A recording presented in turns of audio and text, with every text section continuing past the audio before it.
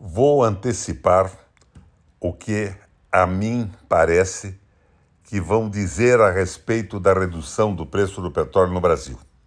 Os novos diretores da empresa. Em primeiro lugar, eles vão dizer que não aceitam o preço de paridade de importação. Não, mas nós queremos o preço internacional. Por que eles justificarão essa posição? Porque eles dirão que hoje nós só estamos refinando no Brasil 70% do que consumimos e vamos ter que importar. Logo, nessa importação, tem que manter o preço internacional, senão vai haver uma carência, uma falta, uma restrição de petróleo no país. Minha gente, não é bem assim. Eles têm que retomar as refinarias que foram vendidas.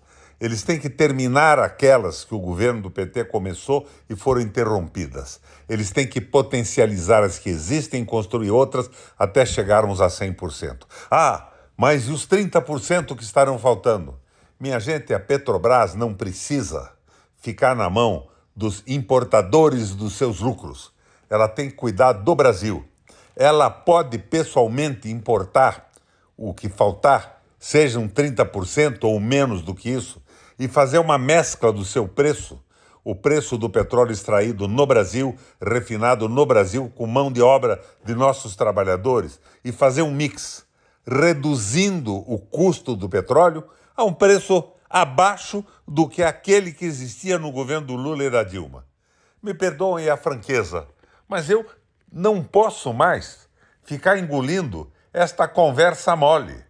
Percebam que a totalidade dos membros do Conselho aprovou a nomeação do Jean Paul Prates.